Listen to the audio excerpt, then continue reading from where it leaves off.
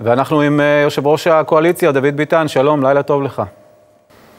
שלום אמיר, וערב טוב.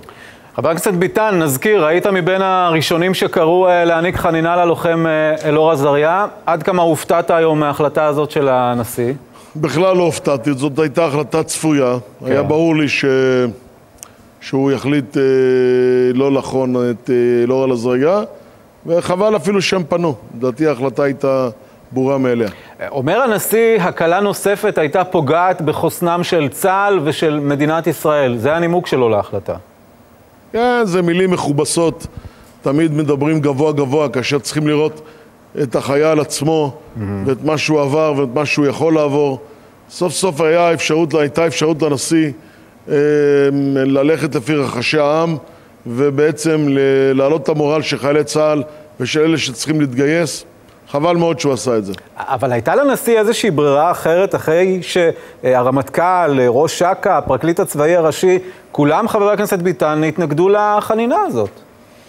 תשמע, שר הביטחון קודם כל הסכים לחנינה והמליץ עליה, ומה זאת אומרת לא הייתה לו ברירה?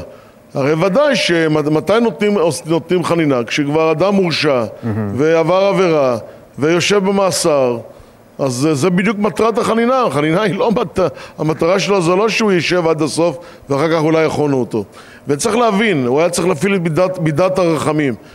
הוא עשה את זה לאולמרט. למה? כי אולמרט הוא חבר שלו, שהוא גדל איתו ב... בירושלים, הוא היה איתו במפלגה. לאולמרט הוא נתן מיד, אה, הפעיל את מידת הרחמים, ולחייל אלאור עזריה הוא לא הפעיל את מידת הרחמים. מדוע?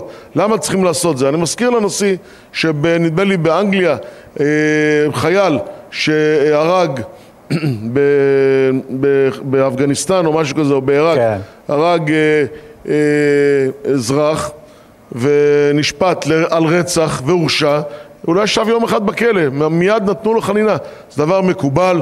המטרה הייתה, באמצעות המשפט, להעלות את הנושא של ערכי צה"ל לכל האנשים במדינת ישראל, על מנת שחיילים לא יחזרו על זה, אבל מיד היו צריכים לחון אותו.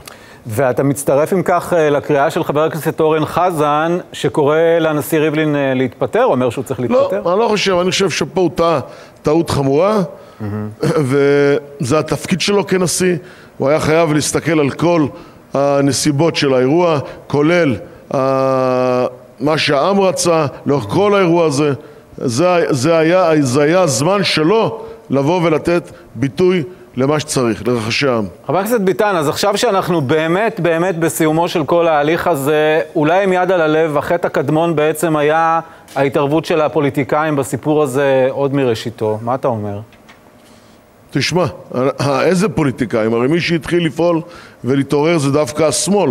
אנחנו רק הגבנו. אנחנו מההתחלה, אני מההתחלה אמרתי.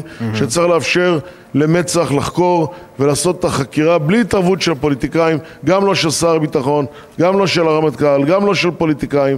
לדעתי, כל ההליך זוהם. בית הדין החליט כפי שהחליט, כבר לאחר ההחלטה הראשונה אני אמרתי שלא צריך להגיש ערעור וצריך לסיים את העניין הזה, אבל עובדה שלמרות שהוא רצה לסיים את זה, אה, הגיע למעצר, ביקש את תהליך של, אה, של הפחתת העונש, זה כן. תהליך מקובל, אבל הוא לא קשור לחנינה. זה שהוא קיבל ארבעה חודשים הפחתת עונש, זה לא אומר שאי אפשר לחון אותו. אוקיי, חבר הכנסת דוד ביטן, תודה רבה לך על הדברים, לילה טוב, תודה רבה. תודה לך.